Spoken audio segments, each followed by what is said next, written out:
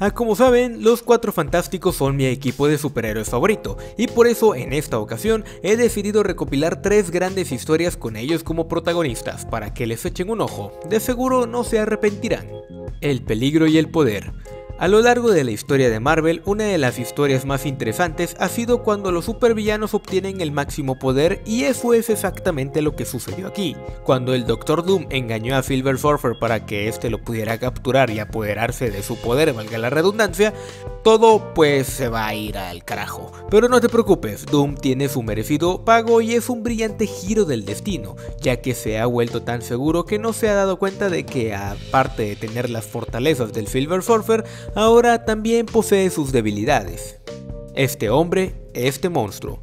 En This Man, This Monster, Stanley y Jack Kirby entregaron una brillante pieza de personaje sobre el altruismo y el heroísmo. La historia trata sobre un científico celoso, sin nombre, que odia a Reed Richards porque siente que hace todas sus exploraciones y descubrimientos científicos porque es un sabueso de la gloria. Así que decide eliminar a Reed cambiando de lugar con la mole a través de algún conmutador de poder, para que este por supuesto se convierta en humano, por lo que está bastante emocionado naturalmente. Entonces el científico se hace pasar por él, pero pues termina sorprendiéndose por la bondad de los cuatro fantásticos, especialmente del desinterés de Reed.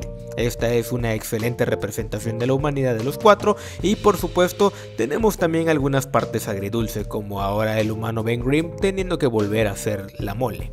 La llegada de Galactus. La historia principal funciona como el epítome de las épicas aventuras cósmicas que Stan Lee y Jack Kirby enviaron a los Cuatro Fantásticos a menudo, con tecnología salvaje y apuestas asombrosas, pero al mismo tiempo elementos humanos reales. Sin embargo, la parte más humana de la historia resultó no involucrar a un humano en absoluto, ya que el ser alienígena conocido como Silver Surfer, la misma persona que fue el heraldo y literalmente atrajo a Galactus devorador de mundos a la Tierra, terminó cayendo para aprender una valiosa lección sobre la humanidad.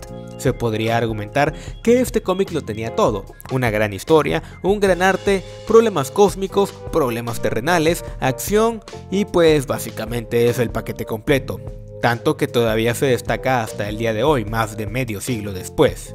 Si te gustó el video, recuerda regalarnos un like y suscribirte si aún no lo has hecho. Agradecemos a nuestros miembros gatonautas que hacen posible este contenido y a ustedes por seguirnos de cerca. Yo soy Walter. Nos vemos.